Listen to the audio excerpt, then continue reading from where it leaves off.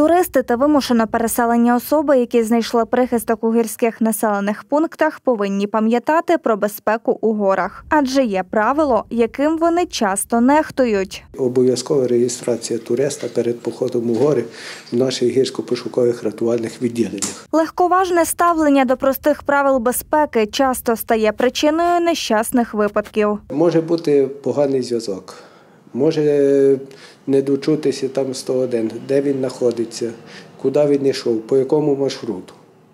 І це, і це для нас дуже великі проблеми, де його знайти.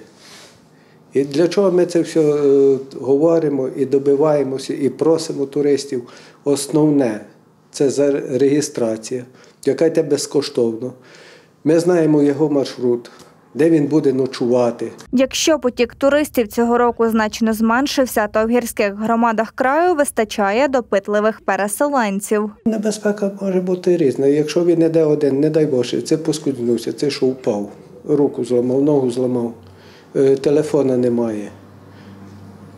Приречений на смерть. Чи зараз у нас е, зараз зимній період є і вовки є, є і ведмеді у нас.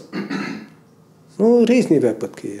Рятувальники закликають відповідально готуватися до походу. Перед тим, як йти в гори, е, обов'язково я б рекомендував всім пройти консультацію сімейного лікаря. Велика йде нагрузка відповідно і на серце, і на, і на, на всі, скажімо, органи. І людина ну, дехто не витримає. Це в першу чергу.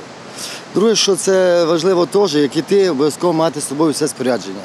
Йдуть люди в кросівках, в спортивних костюмах, коли мінус 15, внизу наверху мінус 20, сильний вітер, мороз, і людина просто е, від перехолодження теж помирає. Таке саме теж було.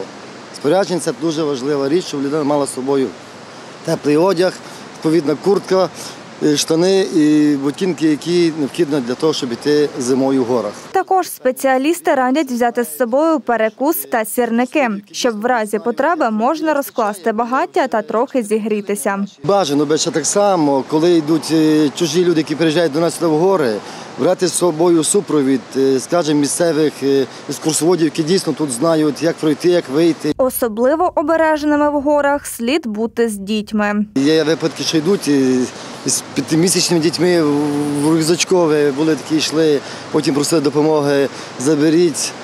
Не можемо йти, вставши, дитина ще в рюкзаку. Був випадок теж е, мужчина ніс дитину в рюкзачку, е, так само спускався з говерлі, зламав ногу. Все, і далі ти не може, дитина маленька. Тож, якщо ви захочете побачити гори під снігом, добре підготуйтеся, щоб ваша подорож минула безпечно.